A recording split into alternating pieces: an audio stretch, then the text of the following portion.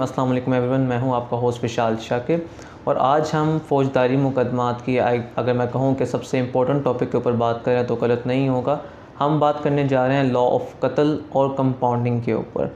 इस टॉपिक पे बात करने के लिए हमें ज्वाइन किया है अगेन मियाँ अली हैदर साहब ने और उन्हीं से इस टॉपिक के ऊपर हम डिटेल डिस्कशन करेंगे। अल्लाम सर वालेकुम sir first of all welcome back to the show हमने अपने व्यूअर्स को सारा क्रिमिनल लॉ आपसे सिखा के ही दम लेना है और आपसे टाइम इस तरह लेते रहेंगे हम। And thank you so much for your kind gestures कि आप हमें और हमारे व्यूअर्स के लिए टाइम देते हैं। पहली बात ये कि I know very little about criminal law और मैं ख़ुद अभी तक एक लर्निंग फ़ेज़ पे हूँ। और फौजदारी वकालत जो है, ये आर्ट ऑफ़ एडवोकेसी की हाईएस्ट रियालम के ऊपर बैठी हुई होती है। और इसके लिए आपको सारी ज़िंदगी सीखना पड़ता है। मैं बज़ात ख़ुद इस कैपेसिटी में नहीं हूँ कि मैं किसी को कुछ सिखा सकूँ। और मैं ख़ुद इस बात को एक्नॉलेज करता हूँ, इस बात को बरमला एडमिट करता हूँ कि मैं रोज़ सीखता हूँ। और वो बड़ी फ़ेमस एक कोटेशन है, एक 16 साल का कनेडियन ऑटिस्टिक चाइल्ड है who is a PhD scholar और मैं जब भी कहीं भी ट्रेनिंग के लिए जाऊँ प्रोसिक्यूटर्स की या पुलिस वालों की तो ये मैं उनको लाजमी बताता हूँ और इसको मैं मनो अन खुद भी अपने पे अप्लाई करता हूँ। वो स्टेटमेंट ये है कि you will never learn until and unless you are willing to unlearn what you have already learn so इस वजह से आपका हर दिन सीखने का होता है। और एज लॉन्ग एज कानून एक ऐसी चीज़ है अगर आप इस परसेप्शन के साथ इस माइंड फ्रेम के साथ इसको अप्रोच नहीं करते तो ये आपके साथ ऐसी आपकी तबीयत साफ़ करता है ना कि आपको लग पता जाता है। सो so, कोई अपने आप को दिमागी तौर पे अरस्तूना समझता हो हम्म। समझना चाहिए। तो इस वजह से मैं आज भी ये कहता हूँ I know very little about criminal law but it is my solemn responsibility कि जो कुछ मुझे पता है वो एटलीस्ट मैं शेयर कर दूँ ताकि उसमें इम्प्रूवमेंट हो सके हम्म। ताकि उसमें फ़ायदा किसी का हो सके मेरा ज़ाती खुद फ़ायदा हो सके। सो so, इस वजह से मैं इसके ऊपर आप that's so very kind of you sir topic शुरू करते हैं चैप्टर 16 पाकिस्तान पीनल कोड बहुत ही इम्पोर्टेंस का हामिल है regarding the bodily harms of a human being तो उसी पे बात करते हैं कि हर एक जो हमारा व्यूअर है, जो इस टाइम लॉ स्टूडेंट हो, चाहे यंग लॉयर हो, वो अपने आप को एक ऐसी इमेजिनेटिव दुनिया में ज़रूर देखता है कि किसी दिन कत्ल का मुकदमा ज़रूर करना है। लेकिन उसके पीछे क्या स्टूडेंट्स है किस किस तरह से इन चीज़ों को देखा जा सकता है, क्योंकि किसी की ज़िंदगी और मौत खुदा के बाद आपके हाथ में होती है। या तो आप उसको बचा लेंगे या उसको आप गैलोस तक पहुँचा देंगे।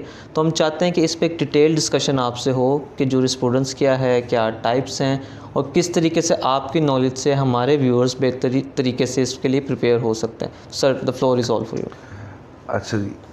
हमारी फ़ौजदारी वकालत की होली ग्रेल है जी लॉ ऑफ़ कत्ल जो है। एक यंग एंट्रेंट हो, एक मिड करियर हो या एक एक्सपीरियंस फ़ौजदारी वकील हो। सो ये उसका हमेशा ख्वाहिश रहती है, हमेशा उसकी ख्वाहिश होती है कि वो जो ट्रायल एडवोकेसी में जो मर्डर ट्रायल है, वो उसको कंडक्ट करे और ये एक ऑनर भी होता। है और जितने भी बड़े नाम उठा के देख लें आप, पाकिस्तान के अंदर फ़ौजदारी के, चाहे वो हायर जुडिशरी से हों चाहे वो आपके एडवोकेट्स के अंदर हों तो उन्होंने इस स्टेज को पास करके उस पी को अचीव किया होता। है सो इस वजह से फ़ौजदारी वकालत के अंदर सबसे इंपॉर्टेंट फ़ेज़ है आपका जो चैप्टर सोलह है। अच्छा before I delve into the chapter 16 और बिलखसूस लॉ ऑफ़ कत्ल आर्टिकल नाइन है जी आपके कॉन्स्टिट्यूशन का। वो आपके राइट टू लाइफ को प्रोटेक्ट करता इंश्योर करता और एक्नॉलेज करता. But at the same time at the same time I will not be wrong to say that कि article nine is not inalienable right अच्छा। क्योंकि आर्टिकल नाइन में लिखा हुआ है your life can be taken in accordance with law और वहीं पे कत्ल लॉ ऑफ़ कत्ल आ जाता है। ठीक है। I mean I can not kill you You are protected by Article 9 that you have a right to life. But if you have taken my life by murdering me, then the law has a right to take your life. So so, उस reference में जब आप देखते हैं तो section 299 के अंदर define किया गया कि कत्ल है क्या ठीक है अगेन इसकी भी डिटेल में जाने से पहले मैं आपको ये बता दूँ कि कसासन दियत ऑर्डिनेंस ने चैप्टर 16 इनकलकेट किया था आपके इस पाकिस्तान पीनल कोड के अंदर। और मेरा अपना ज़ाती बहुत छोटे से नॉलेज और एक्सपीरियंस की बेसिस के ऊपर मानना ये है कि जो आपका ओल्ड इंग्लिश लॉ का कॉन्सेप्ट था वो बहुत बेहतर पोजिशन था एज़ कंपेयर टू जो हमने चैप्टर 16 डाला है। अच्छा। और उन्हीं एम्बिगुटीज़ जो चैप्टर 16 ने क्रिएट किए हैं उसके ऊपर हम बात करेंगे। लेकिन उससे पहले जो आपका इंग्लिश ओल्ड इंग्लिश लॉ था उसके अंदर culpable homicide inculpable homicide manslaughter two plus two very straightforward kind of a thing so coming back to कत्ल याद रखिएगा कोई भी ऑफेंस ये कॉम्पोजिशन होता है दो चीज़ों। एक आपका मेंसरिया और एक आपका एक्टिसरियस अच्छा हमारे यहाँ इन दोनों चीज़ों को किताबों के अंदर और कमेंट्री के अंदर बहुत ओवर सिंप्लीफाई करके बताया गया है। Mens rea means ill intent actus reus means wrongful act लेकिन अगर आप इंग्लिश लॉ का कॉन्सेप्ट देखें तो वो मेंजरिया को डाइसेक्ट करता है तीन चीज़ों वो कहता है कि आपका मेंजरिया सिर्फ़ इलेंडेंट नहीं है वो तीन लेयर्स देता है सबसे पहले। Be a malice forethought you premeditated upon it and you deliberated upon it these three stages are the one जो कंपोजिशन बनते हैं एक मेंजरिया के। And consequent to that you you does that act which is the actus part और इसी वजह से मैंने वन ऑफ़ द लेक्चर्स में शायद आपको बताया भी था कि लेजिस्लेचर ने बहुत सोच समझ के मंतक और मंशा के साथ आपकी तजीरत पाकिस्तान को दो हिस्सों में डिफाइन किया हुआ एक है कत्ल और सॉरी एक है डिफाइनिंग सेक्शंस और एक है पेनल्टी सेक्शंस और आप मेंजरिया का पोर्शन एक्ट्रेसरियस का पोर्शन कहाँ से एक्सट्रैक्ट करते हैं? फ्रॉम डिफाइनिंग सेक्शंस और पेनल्टी आपकी आ जाती है जो भी सज़ा उस ऑफेंस की होगी वो पेनल्टी सेक्शन से आ जाती है। सो so, इस वजह से इसके ऊपर बात करने से पहले ये देखना पड़ेगा हमारे यहाँ लॉ में कत्ल को डिफाइंड किस तरह किया गया। तो वो कहते हैं कत्ल means causing death of a person death of a human being ये कत्ल। कि अगर आपने किसी की डेथ कॉज कर दी है किसी की लाइफ ले लिया उसका राइट टू लाइफ को आपने सलब कर लिया है बाय उसको मारने के बाद तो ये आप कत्ल है। ठीक है। अच्छा अब mode mechanism weapon mode mechanism and weapon chapter 16 के अंदर इन तीनों लिटमस टेस्ट के ऊपर कत्ल को चार कैटेगरीज दे दी गई। ठीक है। मोड मैकेनिज्म और वेपन और चार कैटेगरीज बना दी इन्होंने। The most important in the fundamental जिसको फ़र्स्ट डिग्री मर्डर कहेंगे कोल्ड ब्लडेड मर्डर कहेंगे वो आपका बना दिया इन्होंने कत्ल सेकेंड वॉज़ इज़ कत्ल शबीम देन यू हैव कत्ल ख़ता देन यू हैव कत्ल बिसबब ऐसा तो ये सुनते हैं कत्ल कर दी। हाँ कत्ल कर दिया लेकिन ये चार डिफरेंट किस्म के कत्ल है। ठीक है। और ये भी ये मैं आपको वन बाय वन बाइफर्केट करता जाऊँगा और आपको पता चलेगा कि किसमें क्या चीज़ मिसिंग है तो वो कौन सा कत्ल बन जाता है। हम्म। और क्या चीज़ हो तो वो कौन सा कत्ल बन जाता है। क्योंकि हमारे यहाँ नॉर्मली आपने परसेप्शन बना ली है कि सिर्फ़ कत्ल अमदी होता है जी कत्ल ही होता है। हम्म। लेकिन कौन सा कत्ल होता है ये बहुत बड़ी एक साइंस इनकॉर्पोरेट की लेजिस्लेचर ने आपके इस चैप्टर 16 में। और अटेम्प्ट टू कमिट कत्ल वगैरह मैं इसमें इंक्लूड नहीं करूँगा बिकॉज़ इन चारों के अंदर लॉस ऑफ़ लाइफ हो गया तो इसलिए मैं इसको अलग सेक्शन 299 के कत्ल की रोशनी के अंदर ये चार ही रखूँगा आपके पास हाँ। बिल्कुल ठीक है। अच्छा जी। सबसे पहले आ जाते हैं सेक्शन 300 के ऊपर। ये आपको बताता है कत्ल है क्या। लेकिन यहाँ बड़ी एक इंटरेस्टिंग सी साइंस है। अगर आप सेक्शन 300 को देखें तो ये आपको बता देगा कत्ल अमद है क्या। ठीक है। और इसकी सज़ा जो प्रोवाइड कर दी गई ना वो सेक्शन 302 के अंदर तीन कैटेगरीज में सज़ा प्रोवाइड की गई है। एक सबसे पहले कत्ल अम जिसके अंदर आप सज़ा देंगे सज़ाए मौत एज के सास। ठीक है। दूसरी आप सज़ा देंगे उसके अंदर वो होगी डेथ एज ताज़ीर या लाइफ इम्प्रिजनमेंट ठीक है। और तीसरी कैटेगरी आ गई जहाँ पे आप 25 साल उसको सज़ा दे सकते हैं। अच्छा यहाँ पे इस पॉइंट इन टाइम के ऊपर हम अगर डिस्कशन कर रहे हैं तो यहाँ मैं आपके व्यूअर्स को बताना ये चाहूँगा कि पाकिस्तान उन ममालिक में शामिल है जहाँ पे आज भी डेथ पेनल्टी दी भी जाती है और एग्जीक्यूट भी होती है। So we are not signatory to the abolition of death penalty हमारे मुल्क के अंदर सजाए मौत बहुत सारे ऑफेंसेस के अंदर है। तो वहाँ दी भी जाती है और एग्जीक्यूट भी होती है। अच्छा coming back to the topic सवाल ये खड़ा हुआ कि है एक ही किस्म का कत्ल विच इज़ कत्ल अमद तीन सजाएँ क्यों? Why this multi layered punishment ठीक है। As a as a lawyer as a student of law it comes in my mind क्योंकि हमारी टारगेटेड ऑडियंस फ्रेश ग्रेजुएट है वो सोचेगा बैठ के कि मुझे बात समझ नहीं आ रही लेजिस्लेचर की कि कत्ल अमद हुआ जी और तीन सजाएँ क्यों हैं? अच्छा इसके पीछे भी एक बहुत बड़ी रीजन डी एक्टर सबसे पहले हम वन बाय वन केटर करते हैं। 302 ए और यहाँ पे कभी भी आप 302 ए को इन आइसोलेशन नहीं पढ़ सकते। अच्छा।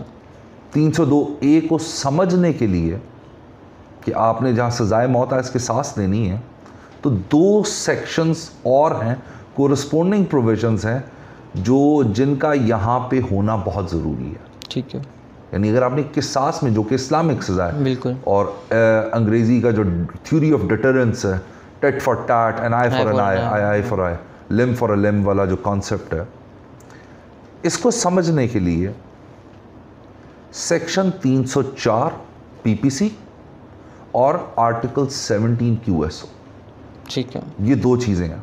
ये पढ़ी जाएँगी लाजमी लाजमी। ठीक है। वो क्या कहती हैं जी? 304 ये कहता है कि अगर आपने सज़ा देनी है कत्ल आमद में एज़ के सास तो कानून शहादत के अंदर जो तस्कियतुल शहूद की रिक्वायरमेंट है वो पूरी होनी चाहिए। ठीक है।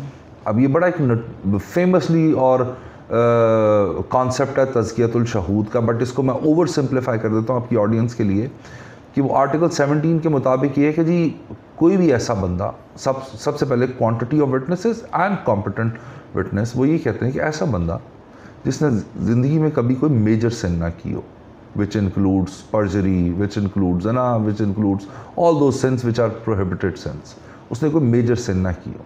सो so, ऐसा बंदा कि सास के मौत मुकदमे में शहादत दे कि जिस बंदे ने ज़िंदगी में कभी कोई मेजर सिन ना की हो तो वहाँ पे सज़ा सज़ाए मौत है एज के सास और उसी मैनर मोड और मैकेनिज़्म के अंदर मारा जाएगा जिस तरह डिसीज मरा था। अच्छा। Now now the question is क्या ये होता है? क्या ये सज़ाएँ दी गई हैं? क्या ये हमारे पास ऐसे फैसले मौजूद हैं? तो आई वुड से मेरी अपनी 15-16 साल के करियर एक्सपीरियंस के अंदर प्योर प्रैक्टिकल प्रोफेशनल एक्सपीरियंस के अंदर I have not seen a single case in that regard कभी के साथ में नॉट अ सिंगल केस ठीक है। I have uh, some uh, good uh, memory of my seniors जो कहते थे कि जिस दौर के अंदर इसको इनकॉपरेट किया गया था पाकिस्तान पीनल कोड के अंदर उस वक्त की ट्रायल कोर्ट्स ने कुछ सज़ाएँ दी थी लेकिन जो कि एपलेट स्टेज पे अगर टूट गई थी सारी की सारी सज़ाएँ। ठीक है। But I have not seen any case और uh, मेरी इनकॉम्पिटेंस आप देख लें कि होगी कि मुझे नहीं पता होगा अगर कोई एग्जिस्ट भी करता है। बट मैंने इस 15-16 साल के अंदर जो वकालती एक्सपीरियंस किया है I have never seen that so अब एक सवाल यहाँ पे ये पैदा होता है कि सर क्यों नहीं? हम्म। क्यों नहीं? दरअसल अगर आप आर्टिकल 17 और 304 को देखें जो शहादती रिक्वायरमेंट मौजूद है the calibre of the witnesses जो रिक्वायर्ड है that is so high that is so so much you know full of the requirements कि अनफॉर्चुनेटली और फॉर्चुनेटली हमारे माशरे के अंदर जब ऐसा कोई वकूआ होता है तो उस वकूए के अंदर जो चश्मदीद गवाह होंगे वो उस रिक्वायरमेंट पे पूरे नहीं उतरते होंगे जिसकी वजह से सेक्शन 302 ए के अंदर सज़ा नहीं होती। ओके फेयर इनफ सवाल यहाँ पे ये पैदा हुआ कि चलें ठीक है अब ये तो पैदा सज़ा नहीं दी जाएगी। या हो नहीं सकती क्योंकि शहादती रिक्वायरमेंट वैसी नहीं है। तो फिर हम आते हैं 302 बी की तरफ़। ठीक। है अच्छा 302 बी के अंदर उन्होंने दो सज़ाएँ रखी। एक है ताज़ीर के अंदर डेथ सेंटेंस और एक आप लाइफ इम्प्रिजनमेंट कर सकते हो। विशाला है तो कत्ले अमद। बिल्कुल। दो सज़ाएँ क्यों? दो सज़ाएँ क्यों? और मैं आपके व्यूअर्स को बताना चाहूँगा कि अगर आपने इस कॉन्सेप्ट को समझना है कि है कत्ल अमद लेकिन एक जगह आप ताज़ीर में सज़ाए मौत दे रहे हैं एक लाइफ इम्प्रिजनमेंट दे रहे हैं तो उसके लिए आपको कंसल्ट करना चाहिए सेक्शन 300 को। ठीक है। उसकी डेफिनेशन पे उसकी डेफिनेशन को। ठीक है। दो बहुत फंडामेंटल और कमाल के कॉन्सेप्ट सेक्शन 300 में डिफाइंड है। एक जहाँ पे इंटेंशनल मर्डर किया जाएगा और जहाँ नॉलेज बेस्ड मर्डर किया जाएगा। क्या फ़र्क है दोनों मैं? आपको बता देता हूँ। Just give me one answer legislature ने अगर इस जगह पे 302 बी में दो सज़ाएँ रखी हैं तो किसी वजह से ही रखी होंगी। ऐसे तो नहीं उन्होंने डाली। तो उसके लिए मैं आपकी ऑडियंस के लिए since I don't memorise it मैं पढ़ देता हूँ सेक्शन 300 कहता है whoever with the intention of causing death or with the intention of causing bodily injury to a person by doing an act which in the ordinary course of nature is likely to cause death ये है first portion ठीक है यानी कहने का मतलब ये है कि जो इंग्लिश लॉ की रिक्वायरमेंट्स मैंने आपको मेंजरिया की बताई थी। बिल्कुल। मैलस ऑफ़ थॉट बिल्कुल। प्री मेडिटेशन और डिलिब्रेशन कि जिस वकूए के अंदर जिस एफआईआर के कंटेंट से कंटेंट से ये बात साबित हो जाए कि जी इनकी वजह अनाद मौजूद थी मोटिव अलेज किया गया। इन्होंने बैठ के प्लानिंग की है विजुअलाइज किया हाइपोथेटिकली कौन किधर होगा कौन किधर होगा and they actually deliberated upon it just imagine ना कि आपका you are so your intent is so criminal that you are thinking about it how to execute how to execute it how to make a planning out of it and consequent to that you did your act serious now this is the first portion जिसको legislature ने 302 B के अंदर cater किया कि इसको सजाए मौत दी जाए एज ताजी ठीक है। Now as an ordinary person I would say इसका अगला पोर्शन और इंटरेस्टिंग हो जाता है। वो कहता है और with the knowledge that his act is so imminently dangerous that it must in all probabilities cause death causes the death of such person is said to commit qatl now just tell me don't you think there is a difference between intention and knowledge I believe के intention में ही is like deliberately trying कि मैंने मारना ही है इसको और दूसरे में उसका एक्शन इस तरीके का है जिसको पत, उसको अंदर नॉलेज है कि अगर मैं ये करूँगा तो ये मर भी but he don't have the intention कि मारना he नहीं है must have not had the premeditation ठीक है must have not had the malice aforethought there must be something missing. Missing हाँ अब यहाँ पे हुआ क्या? हमारी अदालतों ने जो आपकी सुपीरियर जुडिशरी से लेके सबॉर्डिनेट जुडिशरी तक और ये सिर्फ़ एक सूबे के नहीं अक्रॉस द प्रोविंसेस इन्होंने एक यहाँ पे कॉन्सेप्ट अटैच कर दिया मिटिगेटिंग सर्कमस्टांसेस का. And I recall a judgment. PLD 2015 Supreme Court page 77 Zaid Rahman case. In which his lordship Mr Justice Asif Saeed Khan co-sides of the view that this is a wrong application. 302b the second portion which is the life imprisonment portion does not talk about the mitigating circumstances. You being a judge must make a clarification or a differentiation between knowledge and intention and you will be in a position to understand कि ये mitigating circumstances नहीं है ठीक है for that he referred to in that judgment 302 c is the mitigating for mitigating circumstance जो पुराने law के मुताबिक आपके वो सडन प्रोवोकेशन का उसके बाद आप क्या कहते हैं आपका spur of heat of movement में जो आपके कुछ डिफेंसेस भी आपको अवेलेबल हुआ करते थे the 302 C caters to that ठीक है। अच्छा यहाँ पे बात ख़त्म नहीं हुई।